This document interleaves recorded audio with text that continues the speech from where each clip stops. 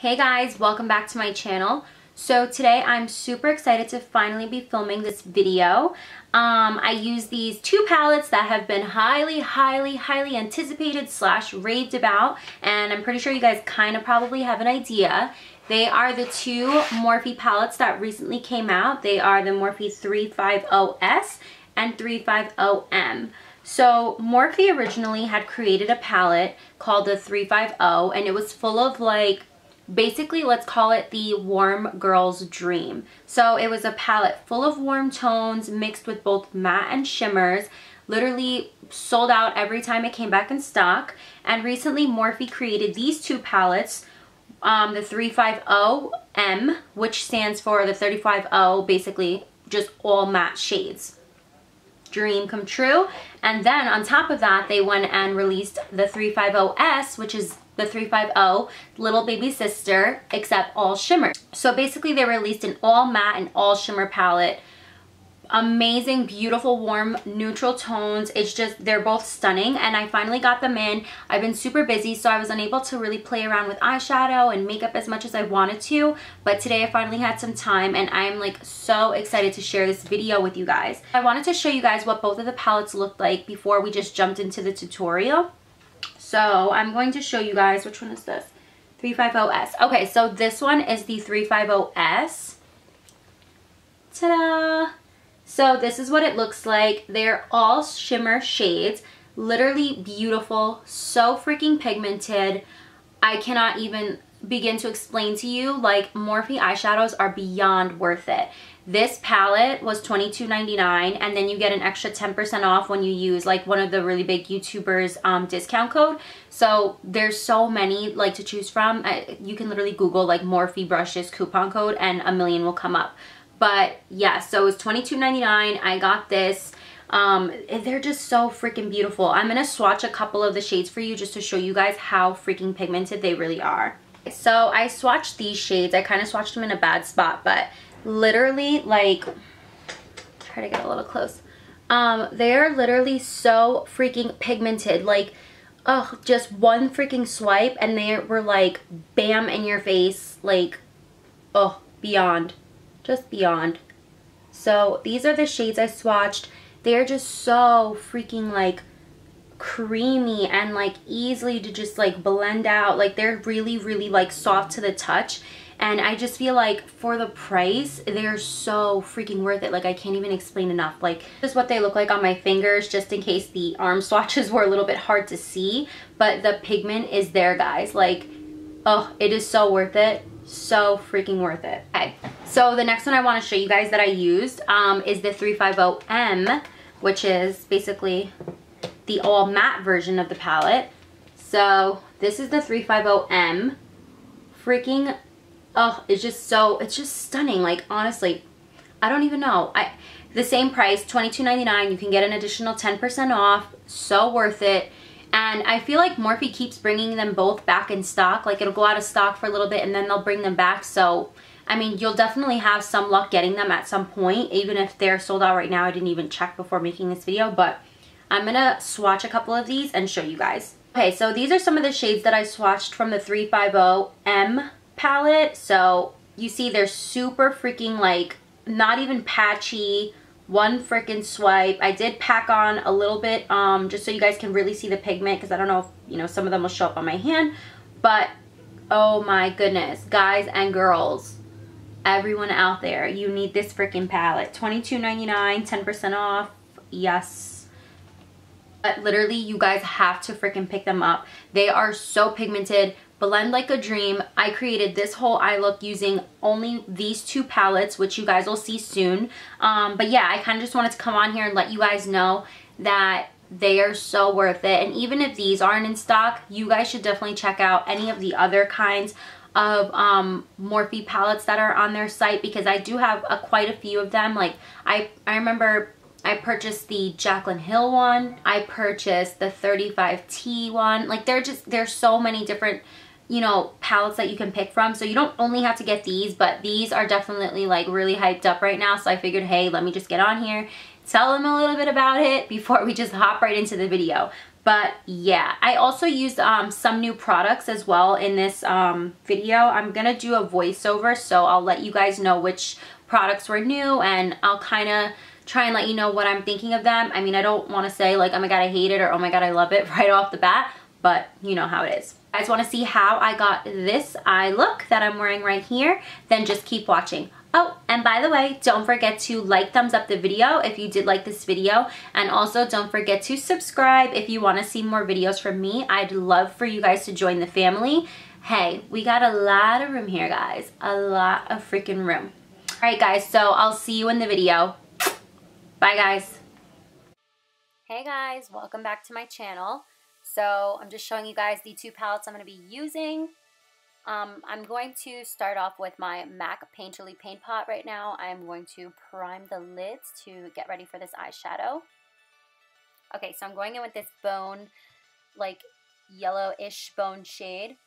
And I'm going to use this just to, um, you know, kind of set that paint pot since it is a little bit sticky-ish. Alright, now I'm going to go in with this like vanilla shade at the top of the Morphe 350M palette. And I'm going to use this shade just to highlight the brow bone. Alright, now I'm going in with this next shade from the 350M palette. I'm going to use this as a transition shade. And I'm going to bump at the same time. So yeah, just using this as a transition shade. Next shadow. Going to use this to kind of build up the outer corner of my eye. I was just kind of doing some circular motions in the outer corner here. Now I'm going in with this deeper shade. And I'm going to build up the intensity in the outer corner a little more. Guys, these shadows are amazing. Literally so amazing. Blends so well. The pigment is amazing. The price is amazing. Couldn't say anything more. Alright, so now I'm going in with this orangey-ish shade just to kind of add somewhat of a little bit of color in my crease, as you guys can see. And I'm pretty much using the same brush, like, now I'm going in with this like yellowishy toned color. Oh, okay, now 350S palette, which is my favorite part. I'm going to be putting this color all over the lid. I first uh, put some Fix Plus just to intensify the shade as much as I could. And look at how beautiful, guys. Like, I just can't. I feel like I always say that. I'm like, I just can't. But no, seriously, I can't. It, it's just so beautiful. So right now I'm just packing that color on the lid. And yeah. Okay, going back with the 350M palette, I'm going to be using the shade in the crease. I was kind of trying to do like a sunset-ish makeup tutorial, makeup look here. Um, but I ended up kind of just winging it after a while, so I hope you guys like the way it turned out. I just really wanted to use these palettes on camera. So now I'm going back in with the darker color, and I'm going to intensify the outer corner. And I'm also adding a little bit in the inner corner to kind of make it like a sandwich look. I love these kinds of looks because then that one shade in the center just stands out and it just looks so beautiful. So now I'm going in with this next like brown, light brown shade in the crease. It kind of had an orangey tint also. So back with the lid shade, I'm going to apply some more since I lost a little bit before with the blending. Going to blend that all together, make it look seamless. Now I'm just wiping up the corners to kind of clean up the eyeshadow. And I'm going to go in with my Tarte Lash Curler, curl my lashes, and my Revlon Grow Luscious Lashes Mascara. Apply a few coats. I don't really use falsies, as you guys already know. So I just apply a ton of mascara and use my lash curler like it's my job. No big deal.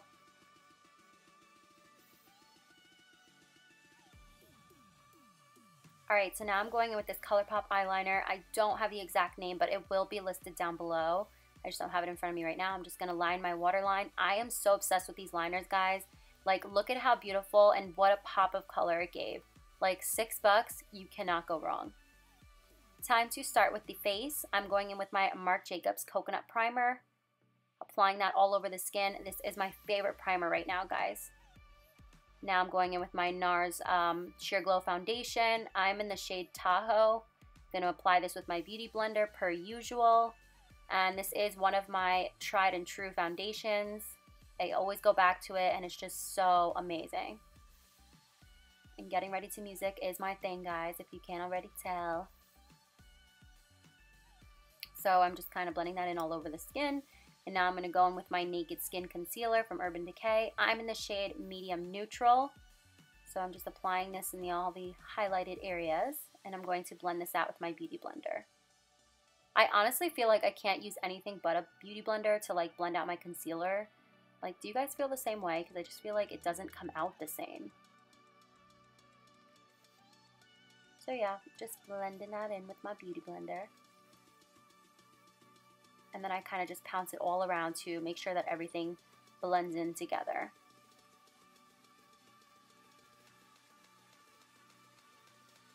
Now I'm going in with my Laura Mercier translucent powder. I'm going to set my under eye, and I've been using my Beauty Blender to do this also. I just feel like it works so good set the T-zone since it is summer.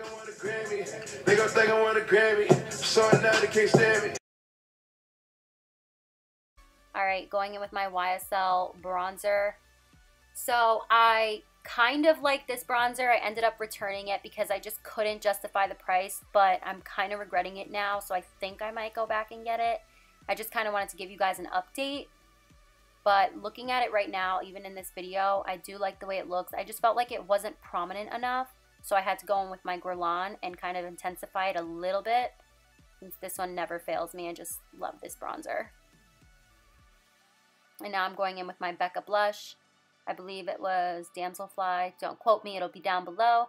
And I'm just going to add a pinch of it on my cheeks. Add some color back into the face. Now I'm going in with my new favorite highlighter. It's the Urban Decay highlighter in Sin. Like, look at that. Oh my gosh. Bomb. So I'm just applying that to the tops of my cheekbones with my Sigma highlighter brush. This is from their new collection, this brush, and it's such a good brush. And now I'm going to go and add some Fix Plus just to blend all those powders together give me that dewy look again. And I'm going to go back to the lower lash line. I'm going to go in with this shade and just kind of buff it into the lower lash line. I didn't want to go too dark because I wanted you to definitely be able to see that yellow. So now I'm just going to apply some mascara to my lower lashes.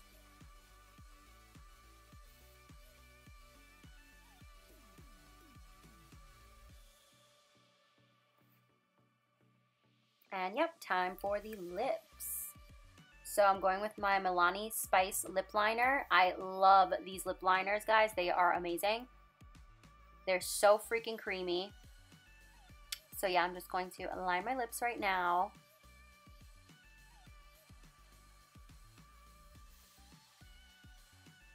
I've been doing a little bit of overlining because I just want them to look a little bit more pouty.